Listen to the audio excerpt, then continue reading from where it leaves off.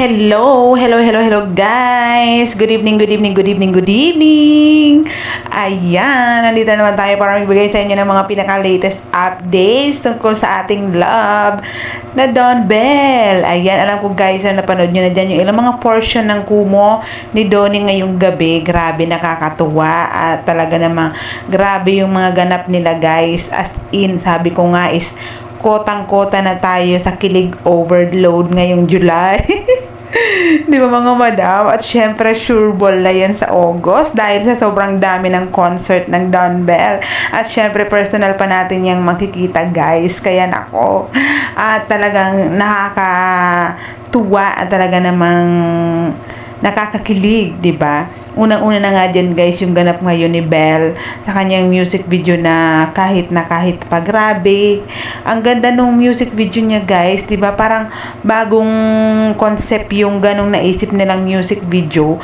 Ang galing nga 'di ba guys na nang mag-isip ng ganong concept. Ang ganda at talagang true to life at mapapaiyak ka talaga sa mga kasali doon na story about sa kanilang love life, hindi lang sa pagmamahal sa a partner, kung hindi sa anak, sa best friend, may mga best friend doon, sa parents, 'di ba? At sa matanda or mga matagal nang nagsasama pero mahal na mahal pa rin nila yung isa. Tapos merong yung bago pa lang din uh, magkasama, 'di ba nakakatuwa yung video, yung music video nila ni Bell doon sa kahit na kahit pa guys, 'di ba?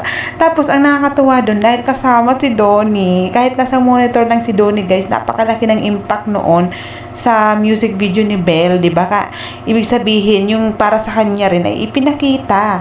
'Di ba kung yung mga nandoon nakasali sa music video, it's may kanya-kanya silang um, partner doon eh, meron din syempre si Belle, kaya pinakita doon si Donnie. Ayun nga, nakakatuwa, di ba? Nakakakilig. At habang pinapanood ko yun, guys, nakangiti yung labi ko, pero yung mata ko, lumuluha. Ang weird, di ba? Kasi parang feel mo talaga yung love doon sa music video ni Belle. Napakagaling. Thumbs up at talagang 100 um 100% yung score nila or more than pa sa naisip nilang concept ng music video ng kahit na kahit pa nakakatuwa 'di ba? At nakaka-inspire din. At maski si Belle ay true to life yung pagkaluha niya doon sa mga pinapanood niyang mga uh, story ng bawat isang kasali doon sa music video guys, 'di ba? At syempre guys, yan pa nga ang ganap ngayon ni Donnie na nakakakilig dyan sa Kumo. Grabe yung hindi ako makamove on doon guys sa um, kung sila na lang or kung nakasakay sila sa bangka at tumawag yun, kasama niya lahat ng mga cast ng His Into Her, sino yung i, una niyang isi-save or yung kahit sa isang taong isi-save niya, ay talagang sinagot niya. Ay si syempre si Tinkerbell, di ba nakakakilig? ah, pwede niya naman hindi yun sagutin guys, ba? Or pwede niya naman sabihin na ah, lahat sila, isi-save niya pag meron chance. Pero yun nga kasi hindi walang choice na iba, walang ibang uh, tanong doon, 'di ba? Kung sino lang ililigtas niya. Ay si Belle, syempre, kasi yun ang kanyang pinaka-love, 'di ba? Pinaka-love. Pinaka-love of his life. Parang yun din yung ano um tanong dun kay Bell sa 25 questions niya kung sino yung taong pipiliin niya kung meron magkaka zombie apocalypse, yung taong ililigtas niya. Si Donnie rin yung kanyang sinagot. di ba It's a tie. the feeling is mutual. So, ayan nga, di ba guys? Nakakilig, di ba? Ang saya-saya natin. Pero, syempre, ayan na naman talaga. Papasok na naman. Hindi pa rin nga matigil-tigil yung mga bashers. Meron ako dito, guys, na is-share. Kasi meron dyan nag-question sa um, vlog natin kung bakit daw laging ikinokonek yung mga bashers kay Bell, 'di ba? Every time na may gagawin daw si Donnie na parang naniniglect niya si Belle, lagi na lang daw sinasabi, pinoprotektahan ni Donnie dahil baka mabash si Belle. Eh, kitang-kita nyo naman guys, di ba? Ngayon pa nga lang, alam ko hindi kayo din aware sa Twitter na sobrang dami ng babash kay Belle. Sumakay diba? Kayo Halos ngayon yung mga lumabas na mga, ang ano kay Belle, mga paninira kay Belle. Naku, napaka Pero napaka below the belt at Hindi na napakahirap ako din sa damdamin natin na nababash ng ganun. So, kaya nasasabi yun na para hindi mabash si Bell dahil totoo naman talaga na talagang ang daming nang na babash kay Bell at yan every time yan dahil yan din sa ka.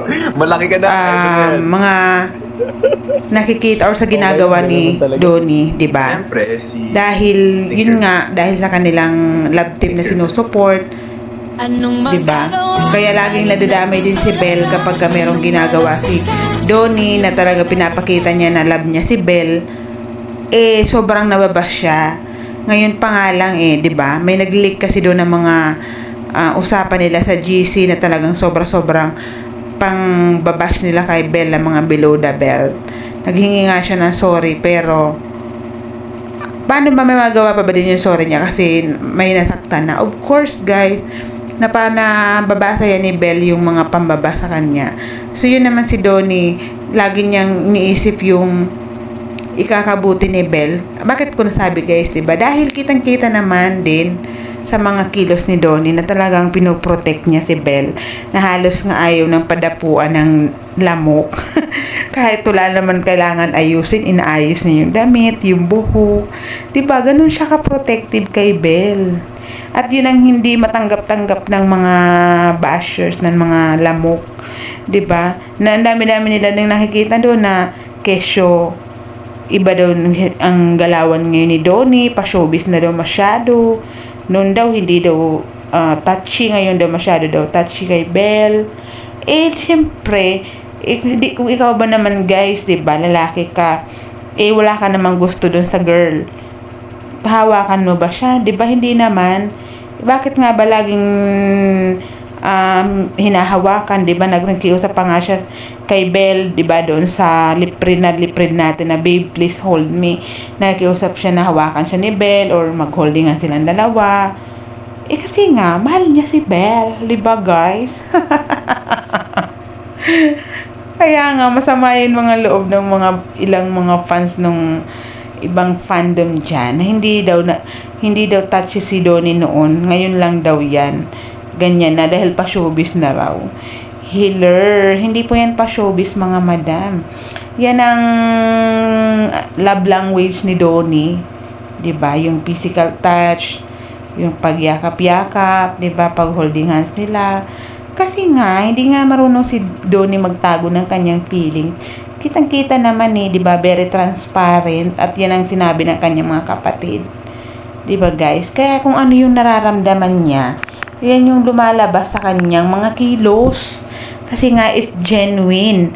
Kung nakita niyo noon na iba si Donnie, talagang sobrang iba guys, 'di ba? Sobrang iba noon. Sobrang iba si Donnie noon dahil nire-reserve niya yung kunya, kanyang ah kumbaga save the best for last. Ah, ganun. ah, kasi nga si Donnie may siya yung tipong lalaki na conservative, I think. Oo nga, yun yung kanin, yun yung kan, ah, expression ko sa kanya.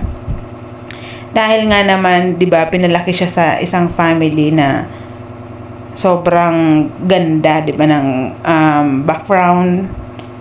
Tapos yung parents, 'di ba? Ang gagaling nila. Talagang mga inspiration sila. Kaya ano pa yung i-expect mo sa mga anak? Lalo na kay Donnie. Nakitang-kita mo naman, di ba, napaka-wholesome ng image niya. May nabalitaan ba tayong naging sangkot si Donnie sa isang um, controversy? Di ba, wala naman, guys. Kasi nga, di ba, ang hirap itago ng totoong ugali, di ba?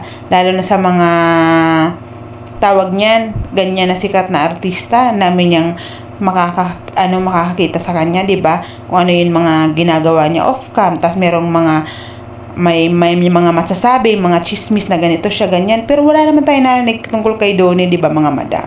So meaning, off-cam, on-cam, talagang yan na yung kanyang tunay na ugali na sobrang bait. Di ba? Na sobrang humble, sobrang mapagmahal. At yun, kung ano yung what you see is what you get. Kung ano yung nakikita mo, pinapakita niya, yun talaga yun siya. Kasi ang hirap magpanggap eh, 'di ba? Para lang sabihin na mabait siya, ganyan. Kasi lalabas at lalabas 'yan. Sa, sa dami ba naman ngayong mga nakabantay na mata, hindi lalabas 'yan, guys, 'di ba? Yung mga ilan lang, yung mga pilit lang na ginagawang masama sa si Donnie sa mata ng iba, 'di ba? Yung laging ginagawa ng reason si Donnie na gawing image na manloloko na wala naman siyang ginawa halos puro pagmamahal lang kay Belle, 'di ba? Puro pagpoprotekta kay Belle. So, yun. Kaya, sorry na lang din dyan sa mga bashers dahil mas lalo silang binabash, mas lalong dumadami yung projects nila, di ba mga madam? Tingnan nyo naman. Nako, yung kanilang mga advertisement ngayon, nako, pipigilan ko na yung sarili ko guys dahil iba-vlog ko pa yan. Basta. So, masyado na napapahaba to. Shout out sa mga madam ko dyan sa Donville National na talaga namang walang humpay. Araw, gabi, madaling araw, tanghali, umaga. Nako, wala kang katigil-tigil sa pagchichikahan dyan sa ating GC. Sobrang happy. So, di ba mga madam, kung yung mga bashers na yun ay pinili nilang nilang maging happy, edi marami tayong happy sana ngayon, di ba mga madam? So, yun lang mga madam. Um, good night and God bless you all. Bye-bye po. Love you all. Mwah, mwah.